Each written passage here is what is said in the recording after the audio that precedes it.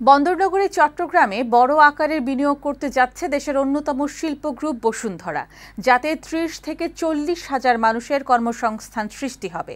বিকেলে চট্টগ্রাম নগর ভবনে সিটি কর্পোরেশনের মেয়র আজম ও নাসির উদ্দিনের সাথে এক সৌজন্য সাক্ষাতে এই কথা জানান। বসুন্ধরা গ্রুপের ব্যবস্থাপনা পরিচালক সায়েম সোভান তানভীর।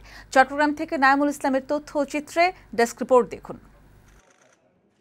উনিশশো সাতাশি সালে আবাসন শিল্পে ব্যবসার মধ্য দিয়ে যাত্রা শুরু করে দেশের অন্যতম বৃহৎ শিল্প প্রতিষ্ঠান বসুন্ধরা গ্রুপ। এরপর থেকে একে একে সিমেন্ট, স্টিল, এলপিজি, কাগজসহ বিভিন্ন সেক্টরে বিনিয়োগ করেছে বসুন্ধরা। এতে নতুন কর্মসংস্থান সৃষ্টির পাশাপাশি প্রতিষ্ঠানটি অবদান রেখে চলেছে দেশের অর্থনীতিতেও। এবার বাণিজ্যিক রাজধানী চট্টগ্রামেও বিশাল অঙ্কের বিনিয়োগ করছে প্রতিষ্ঠানটি।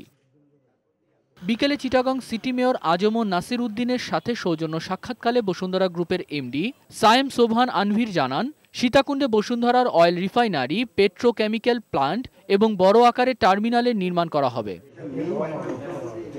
এসব প্রকল্প বাস্তবায়িত হলে প্রায় তিরিশ থেকে চল্লিশ হাজার লোকের কর্মসংস্থান হবে বলেও জানান তিনি। দুইটা প্রকল্প নিয়ে যে আসতেছি এদিকে প্রায় আপনার তিরিশ থেকে চল্লিশ হাজার লোকের কিন্তু কর্মসংস্থান হবে। এটা কিন্তু চিরাঙ্গে কিন্তু এটা কিন্তু বাংলাদেশের সবচেয়ে বড় প্রজেক্ট ধরে হচ্ছে কিন্তু। এ সময় সিটি মেয়র আজম নাসির উদ্দিন দেশের উন্নয়নের স্বার্থে সকল রকম সহযোগিতা করার আশ্বাস দেন। সিটি কর্পোরেশন পক্ষ থেকে সহায়তা উনি প্রত্যাশা করছেন এবং আমি ওনাকে আশ্বস্ত করেছি এটা আমি চট্টগ্রামের স্বার্থে সেটা অবশ্যই অবশ্যই করব। এ সময় বসুন্ধরা গ্রুপের ঊর্ধ্বতন কর্মকর্তাবৃন্দ উপস্থিত ছিলেন। ডেস্ক রিপোর্ট বৈশাখী সংবাদ।